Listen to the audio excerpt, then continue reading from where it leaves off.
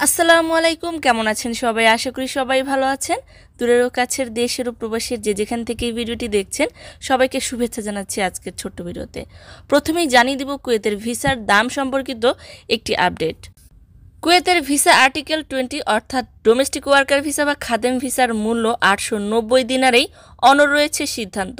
এ ব্যাপারে বিস্তারিত প্রতিবেদনে বলা হয়েছে যে, Kuwait federation of domestic labour office ওয়ানার্সের প্রধান ডক্টর খালিদ আল দাহনান বলেছেন যে, মানসম্মত প্রশিক্ষিত গৃহকর্মী আনার ক্ষেত্রে প্রতিবেশী দেশগুলোর সাথে প্রতিদ্বন্দ্বিতা করতে এই সেক্টরে বিভিন্ন ধরনের ভিসা অফিস, রিক্রুটিং অফিসগুলো আটশো নব্বই দিনারের বেশি মূল্য করার আহ্বান জানিয়েছিলেন। তাদের এই আহ্বানকে বাতিল করে দেয়া হয়েছে। ভিসার মূল্য আটশো নব্বই দিনারই রাখা হয়েছে।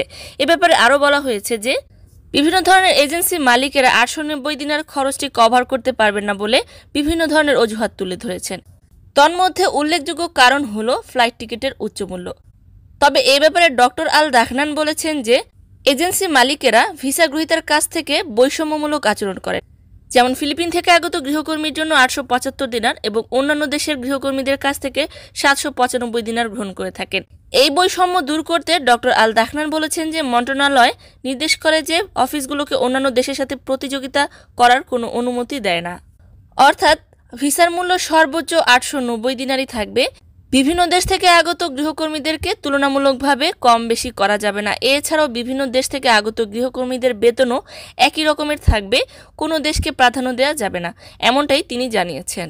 এবারে জানিয়ে দিচ্ছি ধরপাকড়ের খবর। প্রবাসী অধ্যুষিত এলাকা আল মাহাবুলা এবং জিলিব আল সুয়েখে কুয়েতের রেসিডেন্সি আইন লঙ্ঘনকারীদেরকে পাকড়াও করতে ব্যাপক ধরপাকড় অভিযান চালানো হয়েছে।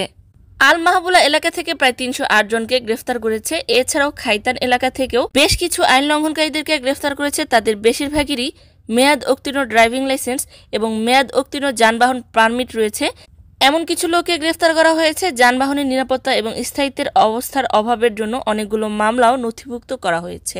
এদিকে ফ্লাইট সম্পর্কিত একটি রিপোর্টে বলা হয়েছে যে চলতি বছরের গ্রীষ্মকালীন সময়ে এয়ারলাইন টিকিটের দাম উন্মুক্তভাবে বৃদ্ধি পেয়েছে, যা দুই হাজার উনিশ সালের তুলনায় বেড়েছে প্রায় পাঁচ গুণ। কিন্তু তা সত্ত্বেও ভ্রমণপ্রেমীরা টিকিটের উচ্চমূল্য স্বাচ্ছন্দ্যভাবেই মেনে নিয়েছে।